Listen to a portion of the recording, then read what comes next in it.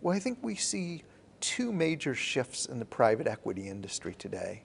The first of them is a shift in terms of geographies that we certainly see, for instance, many of the groups based in the US and the UK, which have traditionally focused on developed markets, increasingly looking in a global perspective and putting more time and energy into emerging markets.